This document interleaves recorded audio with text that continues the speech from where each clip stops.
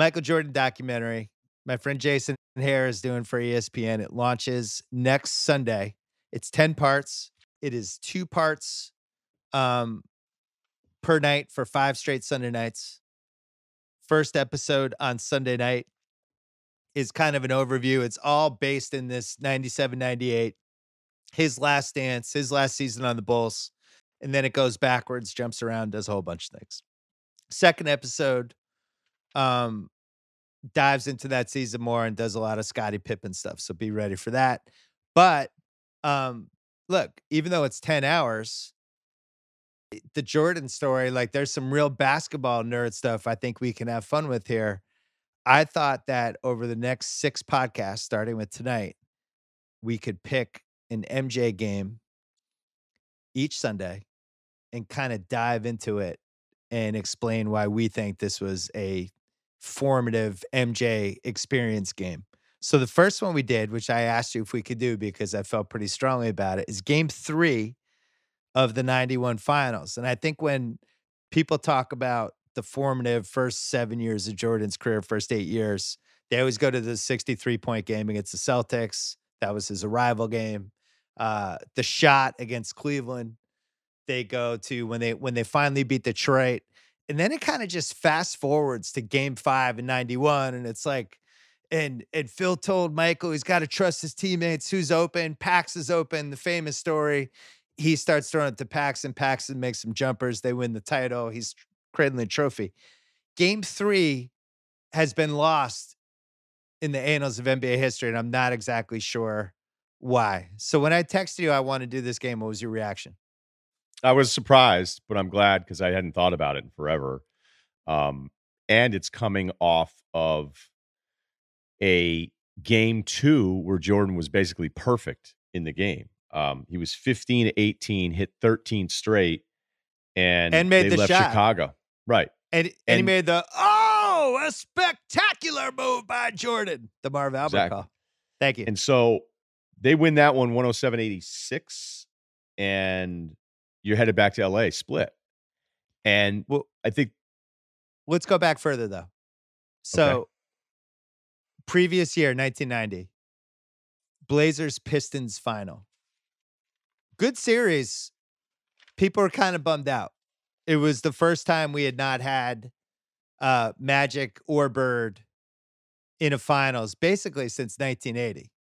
And, you know, nobody really liked the bad boy Pistons. I know that they're, there's been a, a turn you know, recently they they've I think people have warmed up to them, but back then people were like, "Fuck those guys."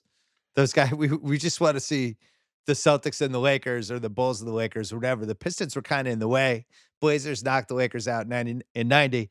The 91 season, Can I just jump in on that Pistons thing? Like Isiah Thomas is one of the most underrated players, I think, in NBA history.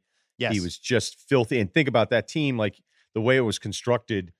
Um, and look, Vinnie got it going, and Dumars had some big games, but there were so many times Isiah had to kind of bail them out sometimes offensively, especially in a, in a more physical era as a smaller player, how small he was. But Isiah does this thing where it's like, well, nobody likes us because we beat Bird, we beat Magic, and we beat MJ, and no one likes us, and that's why we're not remembered as much. No, the problem is, is that you're swimming in this neighborhood that's absurd. The 80s Celtics and Lakers, and then Jordan six and eight years, and you're back to back in that little window. It's only two. When when it Magic's in nine of twelve finals, Bird's got his three, MJ's got his six. Like that's just the way it works. Like sometimes we're as basic as counters, and it's not even an anti-Detroit thing, which there's plenty of anti-Detroit out there, but it's not like like putting you fourth in those 20 years is exactly where you belong. right. They had a little Larry Holmes syndrome. Yes. So what about me? What about me? And it's like, well, you're following Muhammad Ali. Sorry. We're we're not going to get Right, excited yeah. about you. We're just not. Uh, so we have this 91 finals, and it just works out. All of a sudden, it's Bulls Lakers. Magic is still throwing 100 miles an hour. He's still fucking awesome. MJ, we were so fired up to finally get him in the finals, and he gets there. As it turns out, it is uh it's the only Lakers finals of the 1990s. It's the last one ever at the Forum. It's the last game 3 is the last great Magic Johnson game that he was involved in, like the la- the last game you would see in a hardwood classic. Game five wasn't, even though the Bulls won the title, that wasn't a great game. Um, this was year one of NBA on NBC, where the halftime show. I don't know if you watched, but it was Bob Costas and Pat Riley. Pat Riley is like the best person who's ever done studio in an NBA game. He was unbelievable. It was such a loss when he went back to coaching. He was lights out. Marv and the Czar were great. Marv's thrown 130 miles an hour this year. Ahmad, this is his first year as a sideline reporter. John Tesh. And then on top of all this, don't forget I, Steve Snapper Jones. Yeah, and the snapper. Um, you also had really awesome season. So 1991, it's the last year where Bird and Magic both had legit chances to win the title. It was the year Jordan became the man uh, you had a really dramatic Final Four because Pistons Bulls, even though it was only a four game sweep, people were that was that was the trilogy. People were fired up for that. L.A. Portland round two was also great. Uh, there were some great earlier series: Celtics Pacers, Bird, Bird against Person, Reggie Miller. Celtics Pistons was great that year. 76ers versus the Bulls. It was Barkley, Apex Barkley. Uh, Warriors LA, the TMC Warriors. That was really fun too. And then I just wrote down all the great people that were playing this season. So for Hall of Famers, MJ, Magic, Larry, Isiah, Hakeem, Drexler, Barkley, Malone, Stockton, McHale, Parish, Robinson, Ewing, Worthy, Dumars, and Rodman. But then you have ascending on the green arrow pointing up, Pippen, Gary Payton and Shawn Kemp, Reggie Miller, the TMC Warriors, KJ, KJ and Hornacek. All those guys are in the playoffs. Like the league's fucking loaded. This was before expansion it's tight and it's just an awesome season and everything crests with this Bulls Lakers series. You you must remember this back when, right?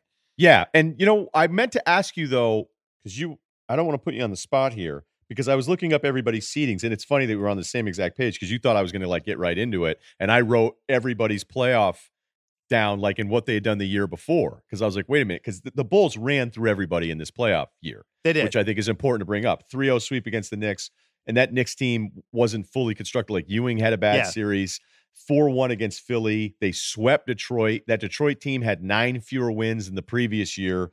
And so when you go back to that previous year, you know, they had lost in seven, the Bulls had in 1990 to a Detroit team that won 59 games. You're like, okay, Detroit's taking a pretty big step back.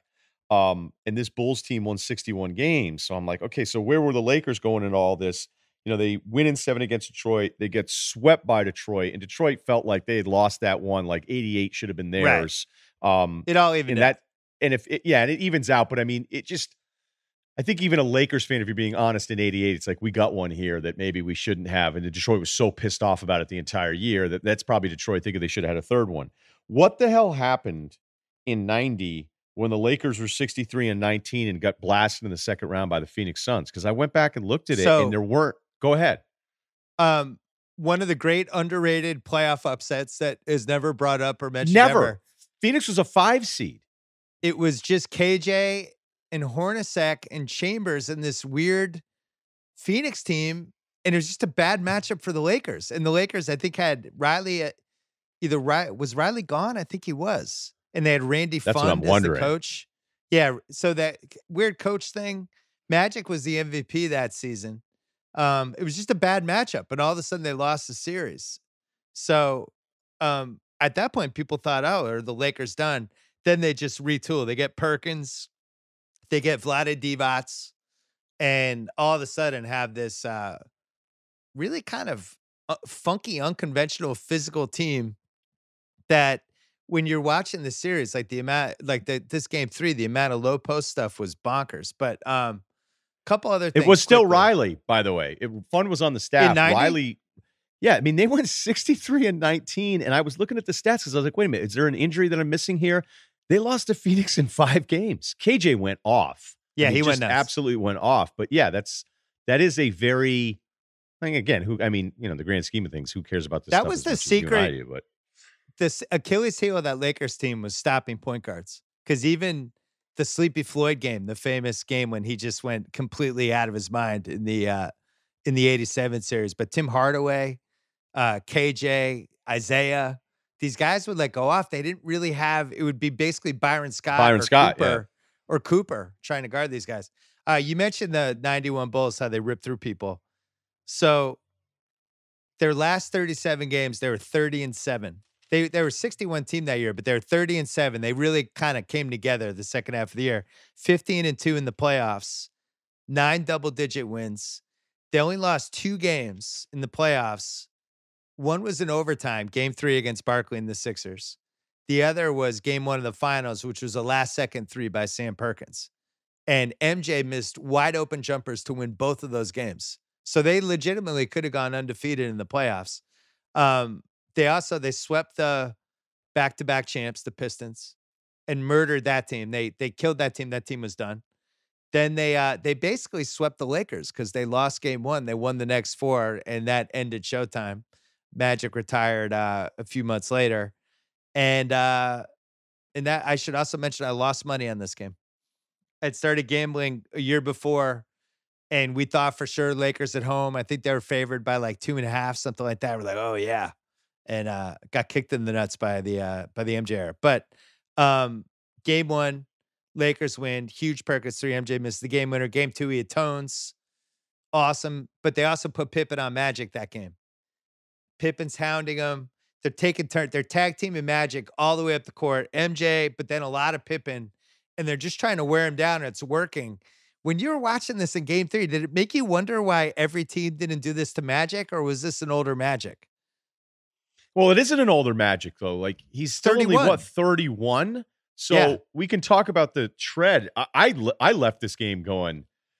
Good Magic is the best. It's so. Oh my god! Fun. I felt the same it's way. So it's so funny. It's not that I've ever had a moment where I'm driving around going, "Hey, do you underrate Magic?" And I'm thinking, no, I've never. Like I've always been very no, pro Magic. I think we like, do. Oh, yeah. I think he's underrated. But but, but then again, I, I see these things. You go, it's just so stupid. Like no one does what he does because even LeBron at his size, right? LeBron being this big point guard it, it for really long stretches, the way Magic would just back you down, and his post moves are as good as anyone. I'm not talking uh, like Magic's post moves what he could have done. Like Magic could have been so many different players. So if we're just going to do the Magic thing here now because we can't help ourselves, I'm all for it.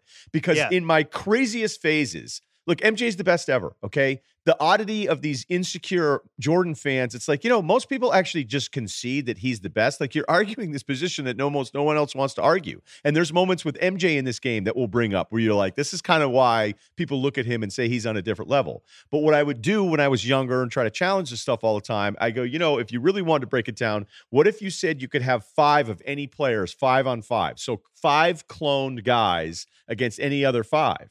And I would take in the clone conversation, which is obviously totally made up, five Magics because Magic really could have done anything he wanted. He's a six nine point guard that's overpowering everybody, and he's backing you down with this dribble where his ass is right on you the whole time, and you can't do anything. And if he gets you deep enough for the post, he ate up Jordan every time he had Jordan single in the post. He he killed them. And you know, look, that's just a size difference, and that was something that actually the Lakers are doing throughout this game.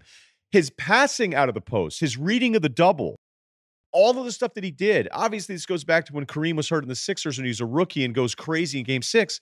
But Magic could have done anything he wanted at any time. And it just happened to be that he always had these other good players. It's like, so you don't need to shoot as much. We need you to initiate the offense. But this game is like an awesome, except late, it gets a little frustrating.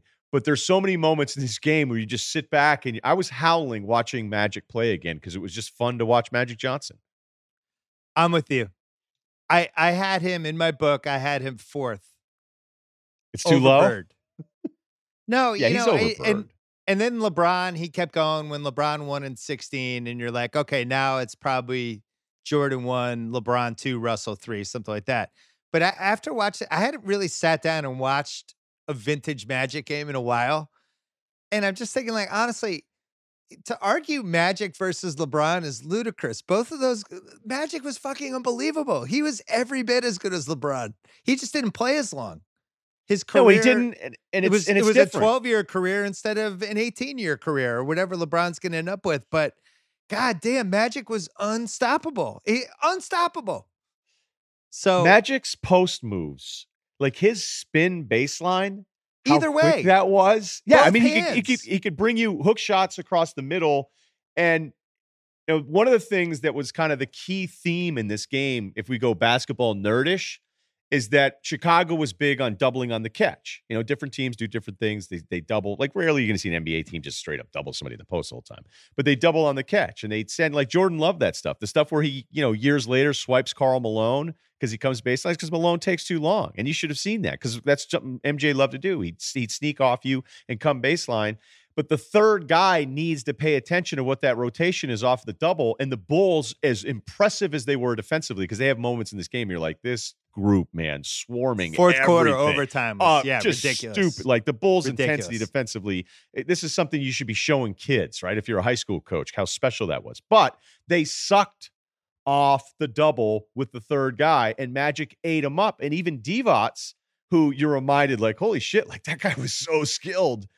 They when La- when the Lakers would get it rolling, Chicago was stuck in this doubling the post catch where they were constantly getting burned on it because Magic was seeing everything, and then Magic would add his little flair to it. But yeah, there are really long stretches here, and they get up. I mean, I don't want to get too far ahead because I know how you're kind Let of me, running this. can I do thing, one but- thing on that though? Yeah, The, the thing that jumped out at me because I hadn't really watched a Magic game intently in a while. He by by like 87, he adds this low post element and this back down thing and just gets better at every year. And he wins the MVP in 87 and 89 and 90. And is every bit as good as as Jordan offensively. Jordan, I think, was a better all-around player.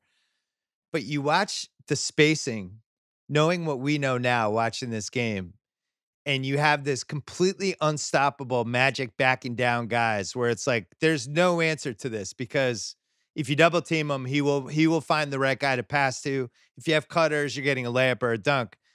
And yet the Lakers didn't understand the spacing part. So they have like first of all, they didn't make a three pointer in this game. There's only one No, oh both 0 for teams 5. went one for eleven total in these three pointers. Like now, if you took this Laker team, you'd been like, okay, like if we went in a time machine after game three and, and just were able to talk to Mike Dunleavy, be like, okay, here's what you do. Put Byron Scott in the corner. Just keep him there. Just trust me. Just keep him there and tell him all he does is shoot corner threes. Put Sam Perkins at the top. Just put him there. And then put any shooter in the other corner and just let Magic cook. Say, like, just let him do his thing. He- He'll find guys. Just trust me. But they didn't know how to do that. And it's like so cluttered. And in that fourth quarter in the OT, the Bulls were just so fantastic defensively. They were just able to swarm. Everybody's within 15 feet of each other. There's no spacing at all. But I'm with you. I the Magic spin moves to both sides. It's unbelievable. He's so good. I He's urge so everybody to watch this. I really Now- enjoyed it. God, I fucking loved watching that guy. Uh, I I was like, I got up and kind of it was weird. Like I watched the first quarter and got up was like, this is awesome. Like, I'm just so glad. Like I took a break because I was having almost too much fun and I wasn't paying enough attention. And um, And by you know, the way, we should mention he doesn't have like it's not like he's you know No, no. incredible in this game. Like this is what did he Oh, he, he, had, those like he had like one of those on his way to a big triple double first halves, but then they really from the third late third quarter on they they fell apart in this one. Can can we go to back he's to one 20, thing though? that I- 22, 22, 10, and 6. Typical it's- magic stats. But it wasn't like an awesome game or anything. Anyway, go ahead. I think one of the most important things when you go into this game, though, is trying to watch it through the prism of what we're talking about. MJ's in his seventh year, okay? And I've said this often, but if MJ were a player today, putting up the numbers he put up, he would get trashed by 50% of the media because he hadn't won yet. You thought LeBron had it bad. If MJ had had his numbers and losing in the playoffs, it, it would have been, hey, you know, year six. Oh, MJ. But he yeah, he was getting it though. But he was getting it. It He was just was we had it. less ways to Yeah, get it. Right. We, we didn't have the same we didn't have first take back then. If we had first take, it would have been the topic every day. Absolutely. And you know what? We know our dads were like, probably specifically your dad and my dad were like, yeah, you know, whatever, 63 points and a loss, you know, probably doing that Oh, kind yeah. of stuff. By the so, way, I was doing that too. so you have to, you can't watch this of, oh, hey, this is the guy who's got six rings. This is the guy with zero rings. And this is a Lakers team that's been in the finals basically for a decade straight. And yes, it's starting to leak a little bit here, but Magic is still, you know, arguably the the second best player to Jordan being the best player in the league at this time. And they play on this theme a lot with Marv Albert, who you're right is throwing absolute 99 on the paint in this game. so game. good. So where good. there was a moment where Jordan doesn't miss a shot for 13 attempts in game two. He hits 13 straight shots. And there was this thing where he had looked to the Lakers bench and Byron Scott got all upset about it, right? Byron Scott's like, he's taunting us. And he, I thought he kind of was taunting them. And then MJ sat down and was like, I wasn't taunting anybody. Of course, NBC never shows a replay of it, ever. The lack of replays in this finals, it was tough. And you could kind of tell it was NBC's first year with it. There was also another moment in this game where they missed a block.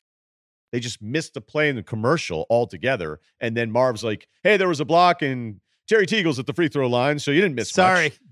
Yeah. Right. And then the guy who made that directing decision went on to do NESN games for the Red Sox for a decade. Right.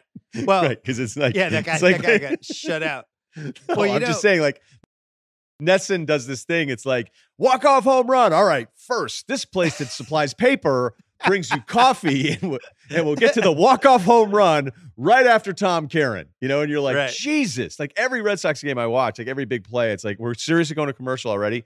Um, the point, and I'll make, I'm going to finish here on this point because I'm dragging it out. But Byron Scott's looking at, when he looks in the mirror, he's thinking a handful of rings. We're in the finals. We're the freaking Lakers. And this is MJ, who hasn't won shit, who, yeah, you made a bunch of shots, but like, don't talk to us that way. That seems inconceivable that an opponent would be saying MJ shouldn't be taunting us on the bench after making 13 straight, but it's still so early. Like, this is the stage two or act two, whatever, of Jordan's NBA career, where I thought that storyline that they kept revisiting in the broadcast was just really funny to think about because that's not the way we've ever consumed Jordan. But at that time, Byron Scott thinks he's right. And he, you know, because he's like, who is this guy I think he is looking at us? Like we're one one in the finals, going back to LA. We just split, like we're gonna beat you guys. Yeah, there was some institutional arrogance from the 80s. And and I'd kind of forgotten a lot of it where people just loved the Celtics and Lakers and that whole thing. And it was like it saved basketball in a lot of ways. Magic and Bird, I think, were two of the most likable players for other fans from other teams who are just like, wow, I just really enjoy watching these guys. They go at it in the 84, 85, 87 finals. They're widely credited as basically saving the NBA and pushing it to another level. So I went back and I read Jack McCallum's piece after game four, the next game. So Sports Illustrated's closing on a Sunday. Game four was on a Sunday. So he's writing that piece. And he kind of goes into this whole thing about like, oh man, this MJ thing. And this is a paragraph he writes. The flip side to Jordan's great gift of inspiring wonder is that he invariably inspires jealousy and resentment too. And champion or not, he cannot match the Pied Piper popularity of Magic. There's a little bit of an anti Jordan undertone to this, traceable to some Laker players and to some members of the media, almost as if Jordan must be torn down so that Magic can remain on top. It shouldn't be that way. There's room for both. So Eh, we're trying to make this point here, but this is this is how everyone felt at the time. It was kind of like fuck this guy. This is still Magic and Bird's league. And we had Bird on the Celtics wearing the fucking back brace, trying to make it to the finals again, almost doing it. And then you have Magic, like with these new teammates, all this stuff, still unbelievable to watch. And he has a chance to win another finals. And and Jordan and Pippen are like the bad guys. And now and, And they're young. Years, it flips. It flips. All those guys, right? They're so young too. Like when they're being introduced, you go, okay, Jordan's in his seventh year. Like he's Pippen's only a few years into the league. a Horace baby in this Grant, game. Yeah. Horace Grant, you know, is young. And those are their three best guys. Like that's actually kind of back, you know, growing up when we were watching these games. That's a young group to win an NBA title, even though Jordan been in the league for seven years. really, really crazy athletic. In fact, you know, that Pistons team, when they started coming up in the late 80s and they were able to throw, you know, Rodman out there with Isiah and Dumars. And I, I remember when Rodman really started guarding Bird, you know, my favorite player of all time, and just being like kind of nervous, like, oh man, what's this? This guy, Bird. Bird like can't go by this guy. What's going on? He was just at a whole other level of athleticism. And then you see like Pippen and Grant, and then even like guys off the bench like Cliff Levingston's a beast in this game. But uh I this Bulls team was really good. The 92 version was probably, you know, they had a little more confidence. I think Pippen was better. Um, but I think this run they had was probably the best of all those three first title seasons. Pretty So- unstoppable.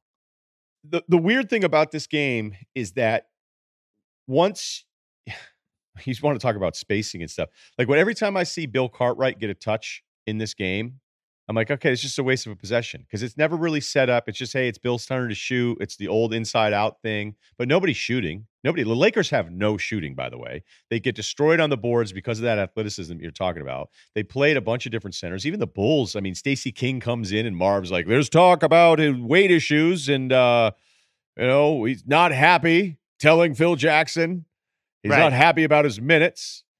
Out of shape to enter the league. I mean, Marv has a heater in this game where they're talking Vlade, and he goes to Fratello and he says, "Well, you see, Magic talking to Vlade, and Vlade encourages that. He says he keeps him straight. He goes, but some would argue part of that European mentality floating from game to game, not a ton of intensity.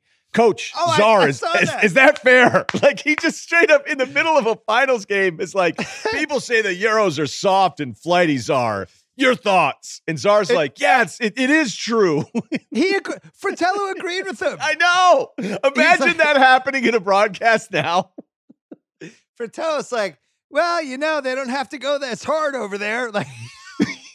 Like, and then he went language to, to fully tell the story. Fratello's like, you know, there's a language barrier. You, you, you wonder at times if they know the plays. Um, and look, Dirk got shit on forever. I mean, he was just another big soft Euro. So in the in the in the few years of everyone being like a heightened sensitivity about any way we talk about anything, like just to go back 30 years and Marv in the middle of And by the way, Vlade was awesome in this game.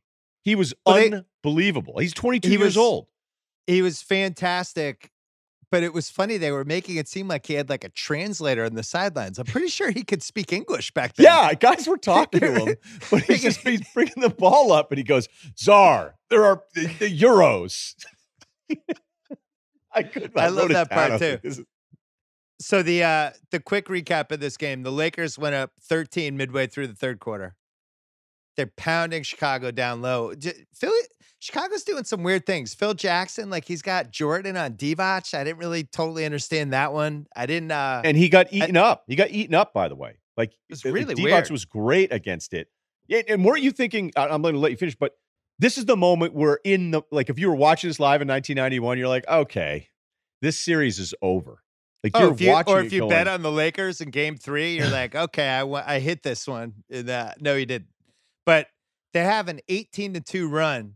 Phil calls three timeouts during the run, and they can't stop it. 67 54, five minutes left. Jordan's just bad up to this point. Marv even says, Michael Jordan has been off his game to this point. Uh, Divac had 21 through the third quarter. Bulls come back a little bit. They're down six after three. And it's like, f- for some reason, Jordan or or Magic are just not coming out. The, the guys are just leaving them. They both play over 50 minutes in this game. Phil finally takes out Jordan with like six minutes left, brings in Cliff Levingston. No, it's four. But this is insane. or insane. five minutes You're talking the fourth Yeah. quarter, right? Yeah. There's I you know we don't have they don't have the graphic in this this broadcast, so it was hard to take notes and be like. But about four plus minutes, he sat MJ in game three of a possession game. He sits him down at four plus and puts him back in like a minute and a half, two minutes later. Right. Yeah, because he he missed like two in traffic layups that he would make He had- every time. You just tell he had no legs. He had one field goal made over 20 minutes. So if you go back to watch this thing thinking you're getting some 40 point MJ masterpiece, that's not what this is. So, all right. So, why do we pick this game as one of the six important MJ games? So, the Bulls are up three, two minutes left. Grant loses it. Magic does a fucking unbelievable lefty spin move. I wrote Magic fucking unbelievable lefty spin move in my notes. Uh, I have the same notes. three Bulls offensive rebounds. Grant put back. They run the graphic 40 to 25 Bulls rebounds. Perkins makes a driving hook. Lakers are now down one with a minute left. Comes down to MJ, bricks a jumper. Bricks it like it's like a backboard. It just comes flying off. Lakers come back down. They're really swarming magic from far away, trying to not let him do anything. He throws Divac, you kind of lose it, picks it up, stumbles in, makes this amazing layup, and gets fouled, and does the famous thing where he runs over to Magic with his hands down and jumps into Ma- it was really funny. Like, it was it was so idolized Magic. You just tell Magic hugs him. It's a bad pass by. Magic, by the way. It was. was It was sloppy. and he- play. yeah, the whole thing got messed up. Lakers up two, 11 seconds left. NBC gives Vlade Divac the Miller Lite player of the game. Do you notice that? I They had come out of a broadcast. timeout. Marv's like, the Miller Lite player of the game is Vlade Divac, 24 and 6. And I, I'm like, uh, the Bulls are really down too. Not So bad they- for an, uh, a Euro that lacks intensity and focus. He'll drink this, these beers lackadaisically, like he does everything else. Someone may have to tell him it's a beer and not milk. He- The, the language barrier being what it is. so uh the Bulls take it out from under the Lakers basket. MJ goes coast to coast, beats two guys. Divac comes over, little jumper, makes it with four seconds left. And I think honestly, up to that point of his career, this is the biggest shot of his career. People would go the the quote unquote the shot over Cleveland. Fine. They won a best of five series against. Cleveland. They lost the next round. The 63 point game, they lost. They they the Celtics beat them like a drum in 86 and 87. Uh anything else you want to give me in 89 90 didn't really matter. They didn't go anywhere. This game, if he misses that shot, they're playing 2 days later on a Sunday. He's he's just had a shitty game. Everybody's like, "Wow, Michael Jordan doesn't have it. Not tough enough. Doesn't choked choked. Stage a little too big for him. It's still Magic and Birds League."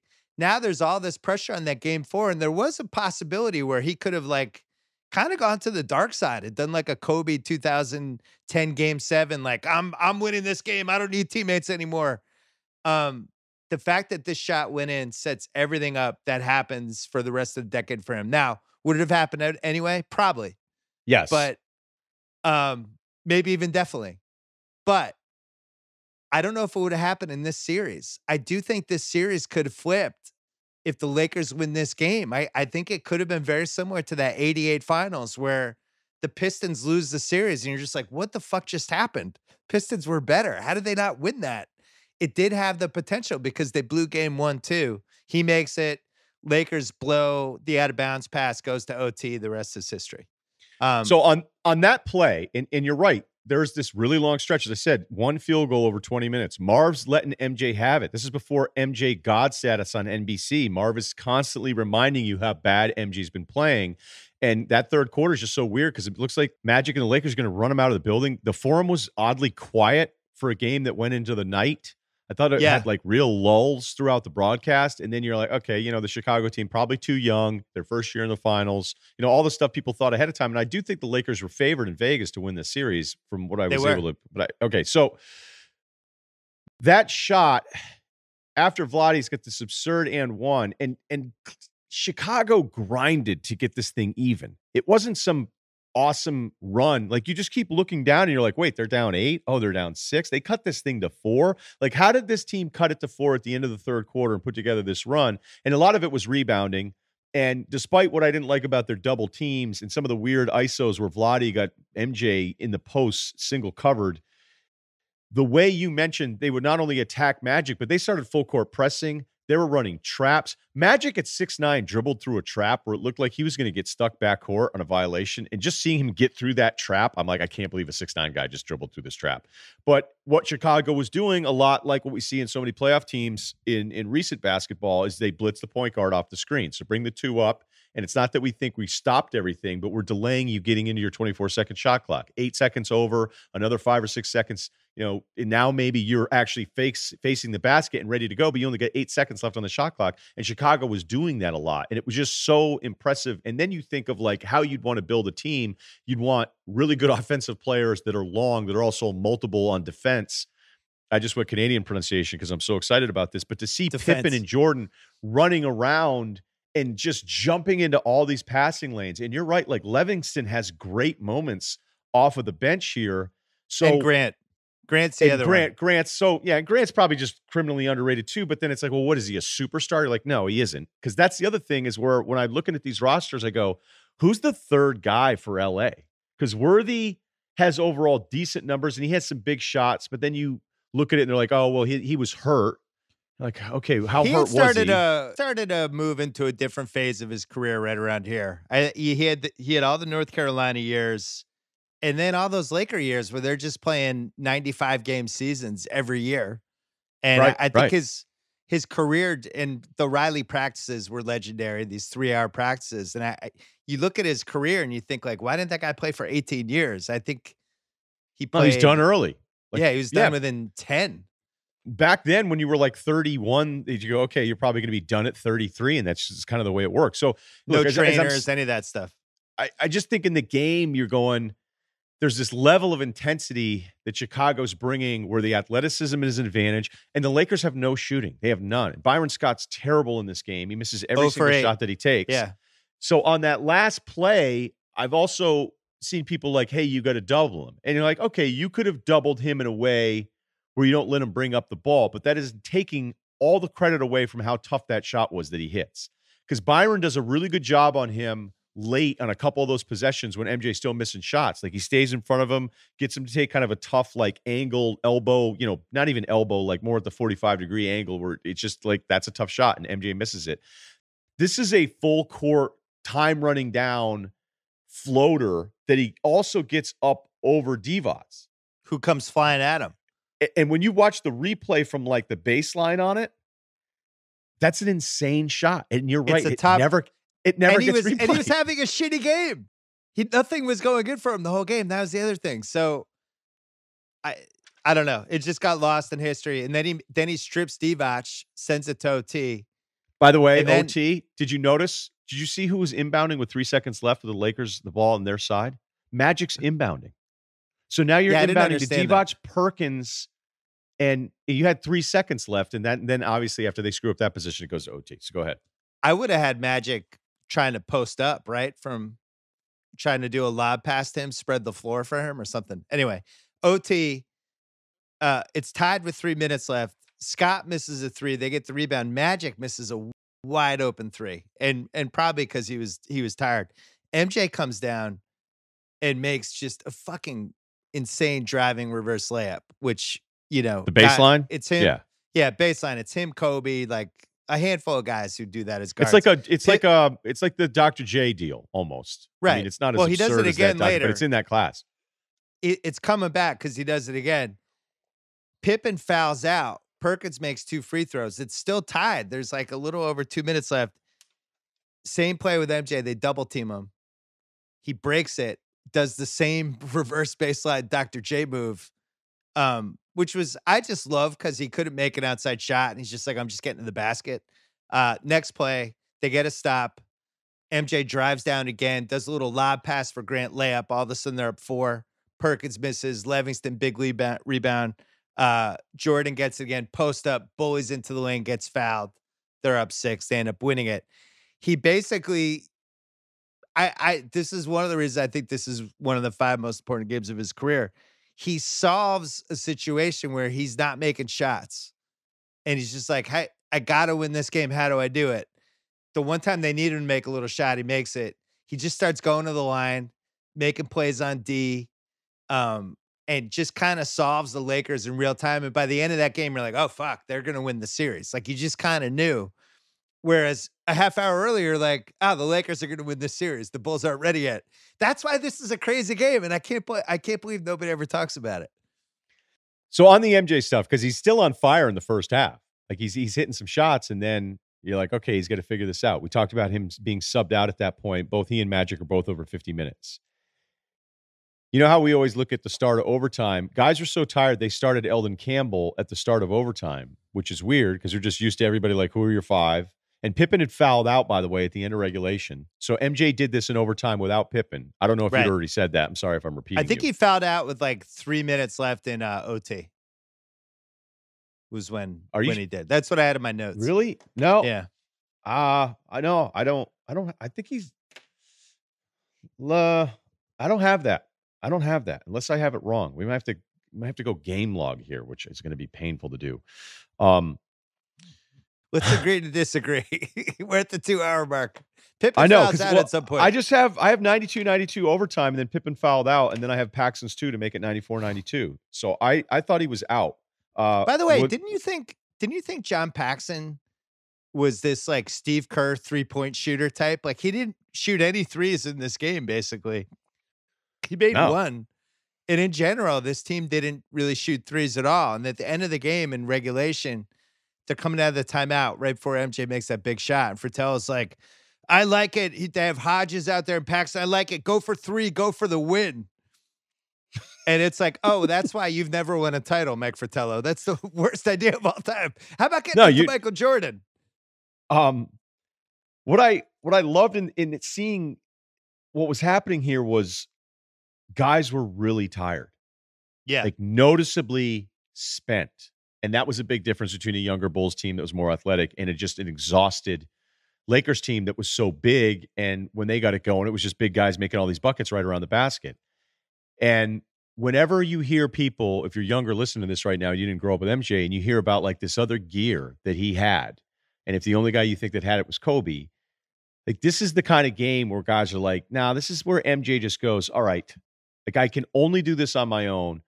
I'm exhausted. Everybody's exhausted. You know how tired MJ would have to be to miss like two minutes towards the end of a fourth quarter, game three of the finals? That's how tired this guy was. And he finds a way to make those reverse layups in the baseline. And not that you or I need reminders, but just, you know how when you watch like a jungle cat walk and it's this body control that is just so smooth and right. there's just nothing like Jordan in that his athleticism jumps out in this game that he's he's a guy that's like sort of in another tier like early Randy Moss and you're like this guy there should be another league that he should play in above the NFL or Pedro when he was at his peak we're like there should be another league above the majors that he's pitching in that MJ and we're talking about the greatest player ever so this should be too surprising but this unbelievable like coil and body control and explosion, but then to Yeah. stay aggressive when the other nine guys are too tired to be as aggressive as he is. Like this was a willed win. That can be a cliche, it could be used inaccurately. This is a just a perfect example of him doing this stuff where it's just okay, like I'm I'm just going to find a way. And you know, it's it's his first title, so we're still talking about him being in his prime athletically too. I think of those first three title seasons, the two most important games are this game and the Charles Smith game. Where that where those performances were just there's there's more going on than just the basketball. This game, he's he's exhausted, he can't make a shot. He still figures it out. The Charles Smith game was really a terrifying situation. Cause if they don't cut that out, now they're down 3 2, but game seven's in New York it's just a bad matchup. They're kind of tired anyway. That's the it's the third straight. They played a lot of games. The media has just descended on Jordan at that point, and you feel like there's a chance they actually might break. And then that whole sequence is just unbelievable. The four blocks. Poor Charles Smith, like you're talking about probably the greatest athletic team of that decade, just wouldn't let him score. Like, yeah, you blame Charles Smith a little bit, but you also have you have Jordan and Pippen, two transcendent athletes with Horace Grant. And They're just like, you're not scoring. We're, we're not letting you have this. Um, I would show those two games first if I were like, what were those early Bulls teams like? Because it's like not about the highlights. It's it's the other stuff that made it special. Like you could go, oh yeah, he made six threes in the first half against Drexler. Um, oh, he put up 54 against the Knicks when everybody was bitching that he was at Atlantic City. Like you could hit all of those things, but I just the sheer will games are my favorites.